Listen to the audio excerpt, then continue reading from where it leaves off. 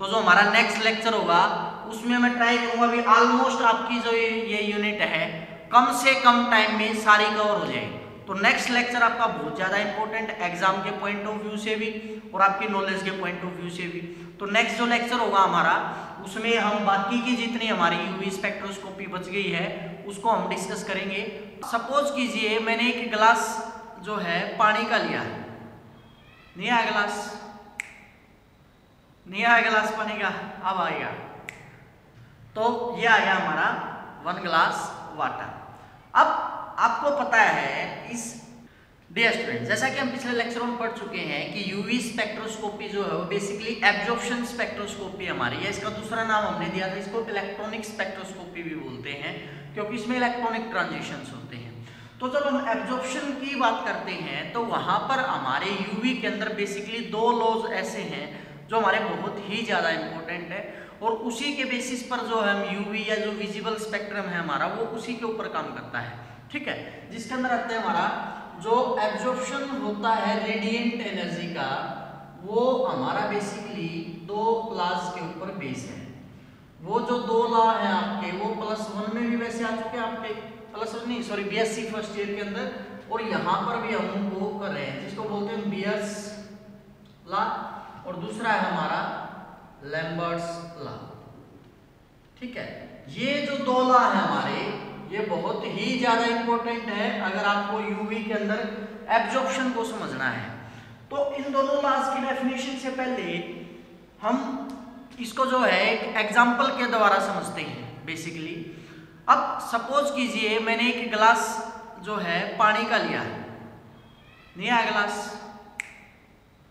नहीं आया गिलास पानी का अब आएगा तो ये आ गया हमारा वन ग्लास वाटर अब आपको पता है इस गिलास के अंदर प्योर वाटर है और कुछ नहीं है लेकिन एक चीज़ आप भूलें साथ में ये गिलास भी है मतलब जब आप इसके ऊपर यूवी डालोगे तो ये जो ग्लास है इसको क्रॉस करने के बाद यूवी हमारी किसके अंदर एंटर करेगी इनसाइड एंटर करेगी अब इनसाइड क्या है हमारे वाटर मोलिक्यूल्स है।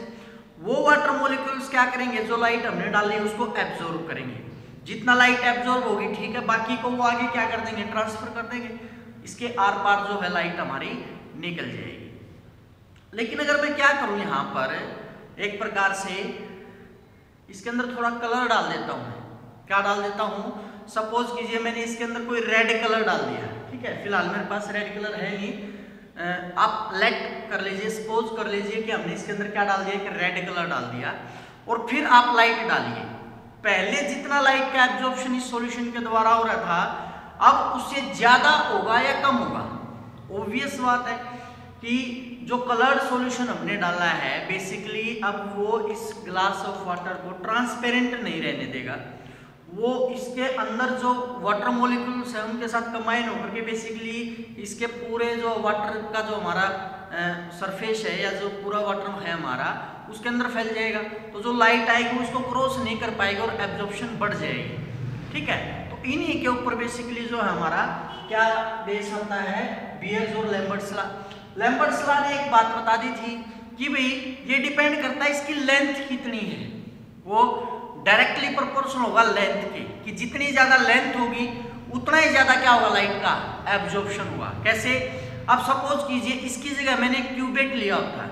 अब क्यूबेट क्या होता है भाई? अगर आपने यूवी एंड विजिबल स्पेक्ट्रोफोटोमीटर देखा हो, या स्पेक्ट्रोमीटर देखा हो तो वहाँ पे एक छोटी सी ऐसे क्यूब शेप हमारी, एक जैसे ऐसे होती है, एक स्लाइड सी होती है हमारी, उसको क्यूबेट बोलते हैं। उसके अंदर हम क्या लेते हैं? सैंपल लेते हैं। फिर उसको जो है हम यूवी फोटोमीटर के अंदर लगा के उसके अंदर हम उसकी एब्जॉर्बेंस चेक करते हैं बेसिकली तो वो डिपेंड करता है भाई अब एक तो जो क्यूब लेंथ है वो स्मॉल हो, एक लार्जर हो तो जितना ज़्यादा होगा लाइट को उतना ज़्यादा ट्रेवल करके क्या जाना पड़ेगा, उसके आर पार जाना पड़ेगा। मतलब जो एब्जॉर्बेंस है वो बेसिकली और किसके ऊपर डिपेंड करती है? एक तो कंसंट्रेशन पे इसके अकॉर्डिंग और लैम्बर्ट्स लॉ के अकॉर्डिंग किसके ऊपर डिपेंड करती है? लेंथ पे। और इन दोनों लॉज को कंबाइन कर दे तो इसको बेसिकली क्या नाम दिया जाता है? बियर्स एंड लैम्बर्ट्स लॉ और एग्ज़ाम के अंदर इनको कंबाइन करके पूछा जाता है कभी भी ये नहीं पूछा जाएगा बियर्स लॉ को एक्सप्लेन करो या फिर आप लैम्बर्ट्स लॉ को एक्सप्लेन करो। क्यों भाई? क्योंकि इन दोनों के कॉम्बिनेशन से ही हमारा जो नेट रिज़ल्ट है, आया था, वो एक्सप्लेन होता है। ठीक है? तो इन दोनों लॉज के कॉम्बिनेशन से बनता है। तो पहले हम करेंगे बियर्स लॉ और उसके बाद पढ़ेंगे हम लैम्बर्ट्स लॉ क्या कहता है Beer's law according to according to this law amount of light absorbed, amount of light absorbed is a proportional to ये इंपॉर्टेंट अभी concentration proportional to concentration of absorbing solute. किसके ऊपर डिपेंड करेगी? जो solute हमने उसके लिया, उसकी एब्जॉर्प्शन कैसे कैपेसिटी कैसे है? जैसे इसी को मैं दोबारा से ले लूँ। सपोज़ कीजिए हमने शुरुआत में जो कलर डाला, वो पाँच ग्राम हमने डाला। उसके बाद फिर मैंने कलर को दस ग्राम कर दिया। अब आप सोच के देखिए, पाँच ग्राम के टाइम पे जितना ये लाइट को एब्जॉर्व कर रहा था, क्या दस ग्राम में भी उतना ही करेगा? नहीं। क्यों? क्योंकि अब उसकी क्या बढ़ गई है? कंसंट्रेशन बढ़ गई है। नंबर ऑफ़ सोल्यूट पार्टिकल बढ़ गए हैं। तो किस, किसके प्रोपोर्शनल होगा? कंसंट्रेशन ऑफ़ एब्जॉर्बिंग सोल्यूट या फिर मैं क्या लिख सकता हूँ? नंबर ऑफ़ एब्जॉर्बिंग सोल्यूट क्या लिख सकता हूँ मैं यहाँ पे? Number of absorbing solute and each molecule absorb same या फिर बोल सकते हैं हमें equal fraction of incident light कि हर एक मोलिक्यूल जो होगा, वो इक्वल फ्रैक्शन जो है वो एब्जॉर्व करेगा इंसिडेंट लाइट का independent of concentration independent of a concentration हमने वहाँ पे ये इंडिपेंडेंट ऑफ़ कंसंट्रेशन किसकी बात कर रहा है? ईच पार्टिकल की। लेकिन यहाँ पर क्या बोल रहा है? Proportional concentration of absorbing solution मतलब उसके नंबर पे डिपेंड कर रहा है। ना कि इस बात पे जो जितने अमाउंट ऑफ़ एब्जॉर्ब पार्टिकल कोई एब्जॉर्ब करेगा, जैसे मान लिया 100 पार्टिकल है, उसमें से अगर एक पार्टिकल सपोज़ कीजिए 30 परसेंट लाइट को एब्जॉर्ब करा तो बाकी के सारे पार्टिकल्स भी क्या करेंगे? 30 परसेंट को एब्जॉर्ब करेंगे। तो इसको मैं बेसिकली क्या लिखता हूँ? A directly proportional to C और डायरेक्टली को साइन लाने के लिए हम अपसाइलर का यूज़ कर लेते हैं। तो यहाँ पर हम थोड़ा सा जो है, एक प्रकार से समझने की कोशिश कर सकते हैं बियर्स ला इसके बाद हम किसके ऊपर आते हैं? अब लैम्बर्ट्स लॉ में क्या चीज़ आ जाती है कि लेंथ की हमारी जो है नई बात जो है इसके अंदर आ जाती है। तो क्या कहता है according to Lambert's fraction of light absorb कितनी लाइट एब्जॉर्ब होगी? Fraction of light absorb by homogeneous medium is independent of intensity of incident light intensity of incident light जो किसके ऊपर डिपेंड करेगा? कि लाइट जो आ उसकी इंटेंसिटी कितनी है? कम है, ज़्यादा उसके ऊपर डिपेंड नहीं करेगा। इक्वली एब्जॉर्ब होगा। And each successive unit layer and each a successive unit layer of medium absorbs equal fraction of light incident on it हर एक जो लेयर होगी, हर एक लेयर क्या करेगी? जितनी इंसिडेंट लाइट को फ़र्स्ट लेयर ने मान लिया एब्जॉर्व किया है सेकंड लेयर भी उतना ही करेगी थर्ड लेयर भी उतना ही करेगी फोर्थ लेयर भी उतना ही करेगी, इस प्रकार से वो एब्जॉर्वेशन जो है चलेगा। तो इसको क्या बोलते हैं? बेसिकली लैम्बर्ट्स लॉ अब इन दोनों लॉज को अगर मैं कंबाइन कर देता हूँ क्या कर दूँ? इन दोनों लॉज को अगर मैं कंबाइन कर देता हूँ तो उसको बेसिकली क्या बोल देंगे हमें? बियर्स लैम्बर्ट्स लॉ तो क्या कर देंगे? By combination of these two laws we गए हमारे पास एक इक्वेशन आ जाती है इन दोनों लाल को कंबाइन करने से logarithm I naught upon I is equal to epsilon CL और अपसाइलन सीएल को मैं क्या लिख सकता हूँ? इज़ इक्वल टू एब्जॉर्बेंस या फिर इसको मैं बेसिकली कैसे लिखता हूँ? एब्जॉर्बेंस किसके इक्वल होगा? हमारा अपसाइलन सीएल अब यहाँ पर आई नोट क्या आ गई हमारी? इंटेंसिटी ऑफ़ इंसिडेंट लाइट की जो लाइट हमने उसके ऊपर डाली है, उसकी इंटेंसिटी कितनी है? आई क्या भी कि उसके बाद जो लाइट है ट्रांसमिट कितनी हुई है? Intensity of transmitted light C क्या था भाई हमारा? कंसंट्रेशन ऑफ़ सॉल्यूशन एल क्या देगी हमारी? Path length of a sample अब देखिए भाई एब्जॉर्प्शन अगर इसको हम हटा लें तो डायरेक्टली है सी और एल के। इसको मैं क्या लिखता हूँ?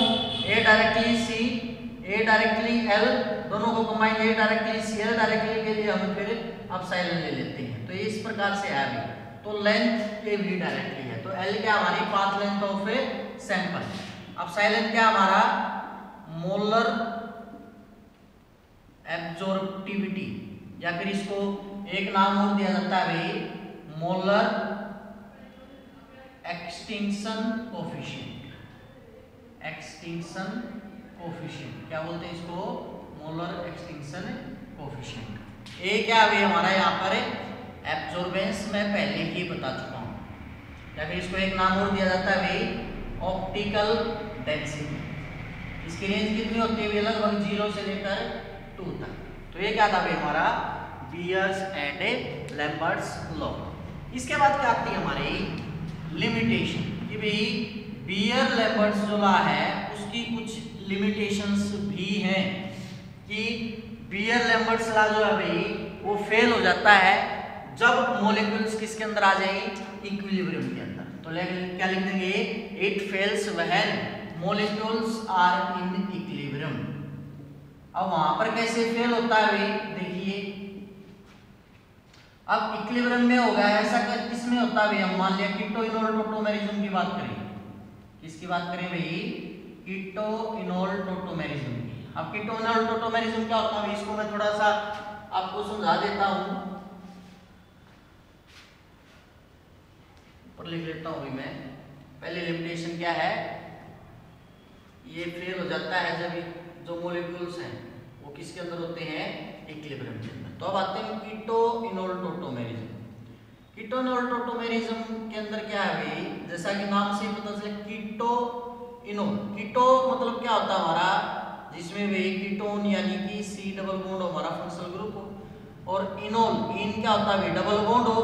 और साथ में ओल का मतलब क्या? कौन सा फंक्शनल ग्रुप हमारा OH अब इसका एक सिंपल सा एग्जांपल ले लेता हूँ भाई मैं। CH3 C डबल बॉन्ड हो CH3 ये हमारा सिंपलेस्ट कीटोन है भाई। क्या बोलते हैं इसको? एसीटोन अब टोटोमेरिज्म के लिए कंडीशन क्या होती है भाई? जो कंपाउंड है हमारा, उसके अंदर क्या होनी चाहिए बेटा? अल्फ़ा हाइड्रोजन क्या होनी चाहिए? अल्फ़ा हाइड्रोजन मतलब क्या होता है अल्फ़ा हाइड्रोजन का? ये हमारा क्या है? फंक्शनल ग्रुप क्या भाई? हमारा फंक्शनल ग्रुप फंक्शनल ग्रुप के साथ वाला जो कार्बन वो क्या है? अल्फ़ा कार्बन इस तरफ़ आएँगे तो ये अल्फ़ा कार्बन तो इसका अल्फ़ा डैश मान लेता हूँ मैं, क्योंकि इस साइड ये अल्फ़ा है, इस साइड ये अल्फ़ा है। तो अल्फ़ा कार्बन के साथ जितनी हाइड्रोजन अटैच है, वो सारे क्या है?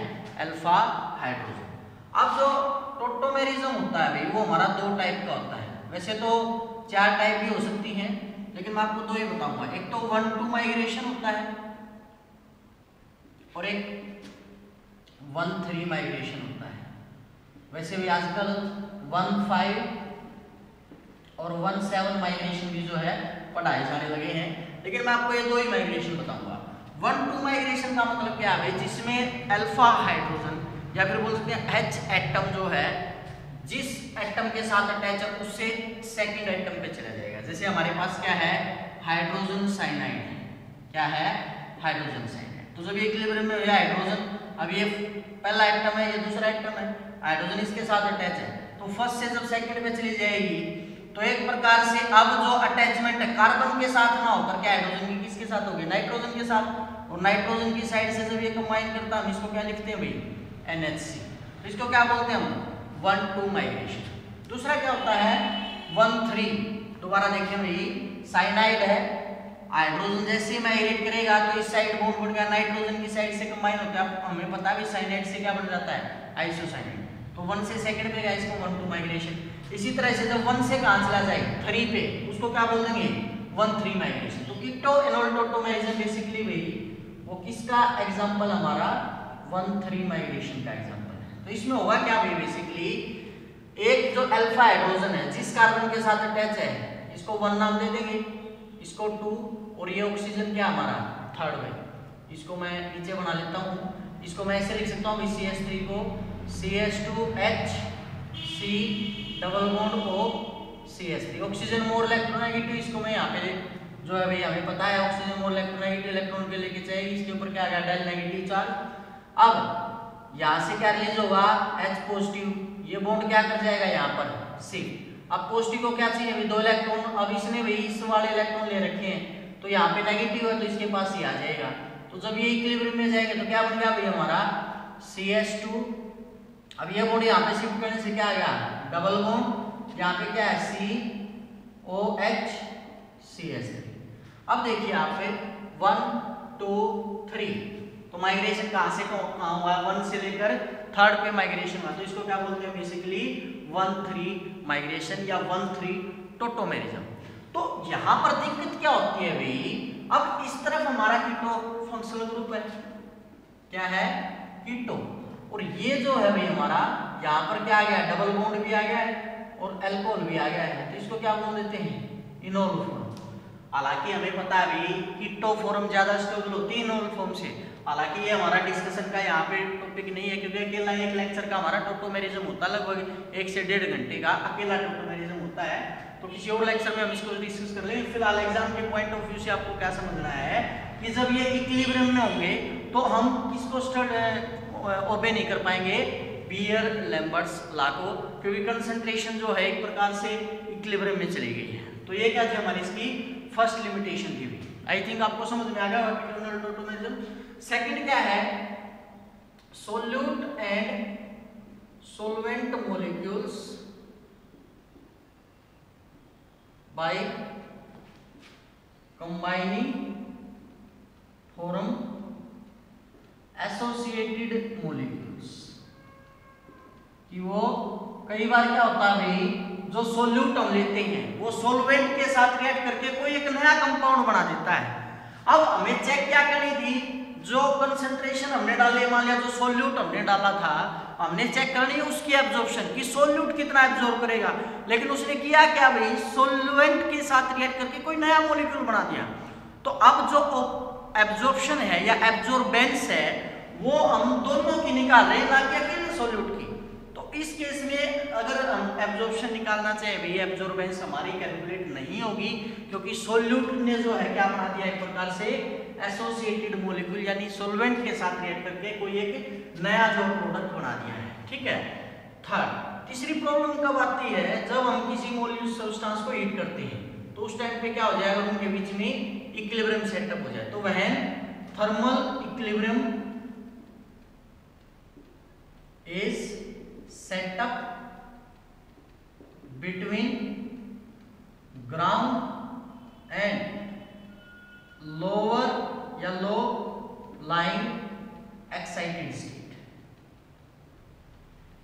कैसे भाई अब सपोज़ कीजिए ये है हमारा ग्राउंड लेवल और ये हमारा है एक्साइटेड लेवल ठीक है लेकिन कई बार क्या होता है भाई, किसी मॉलिक्यूल के अंदर जो एक्साइटेड लेवल है, कई बार उसका लेवल लोअर में हो जाता है।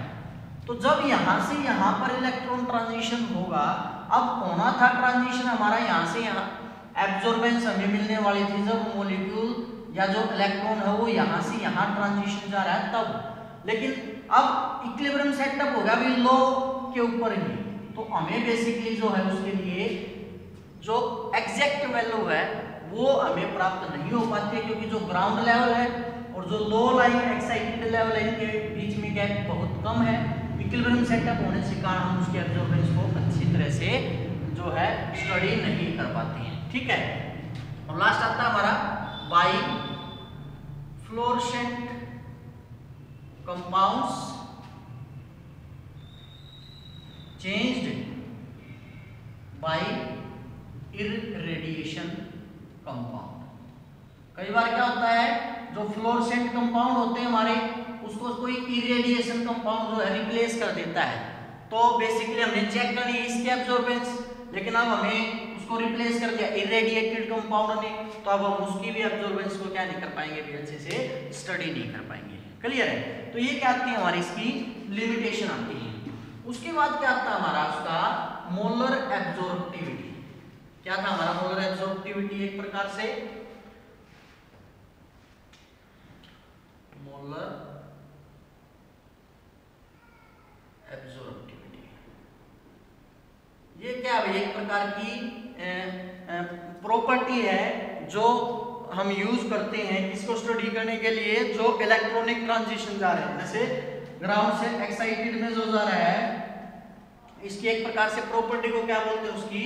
मोलर एब्जॉर्बिविटी कि उसने कितना जो है एक प्रकार से एब्जॉर्प्शन किया है। तो क्या लिखेंगे इसको एक प्रकार से? It is the property of molecules undergoing electronic transitions ठीक है?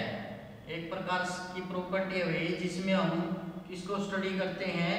इलेक्ट्रॉनिक के ट्रांजिशन को, उस प्रॉपर्टी को बेसिकली हम क्या बोलते हैं? मोलर एब्जॉर्बिव अब जो मैग्नीट्यूड है मोलर एब्जॉर्बिविटी का मतलब कितनी एब्जॉर्बिविटी होगी, वो हमारा दो फैक्टर के ऊपर डिपेंड करता है। तो क्या लिखेंगे हमें? Magnitude of molar absorbivity depends upon two factors कितने फैक्टर पे डिपेंड करता है बेसिकली हमारा दो फैक्टर के ऊपर। सबसे पहला कि भी कितनी प्रोबेबिलिटी है ट्रांजिशन की? प्रोबेबिलिटी ऑफ़ ट्रांजिशन ठीक है? क्योंकि भाई सपोज़ कीजिए ट्रांजिशन हुई नहीं, जो इलेक्ट्रॉन था वो ग्राउंड लेवल से एक्साइटेड लेवल पे गया ही नहीं तो क्या नहीं कर पाएगा? एब्जॉर्प्शन नहीं कर पाएगा। तो प्रोबेबिलिटी कितनी है ट्रांजिशन जाने की उसके ऊपर क्या डिपेंड करती है उसकी? एब्जॉर्बिविटी कि वो कितना एब्जॉर्ब कर पाएगा?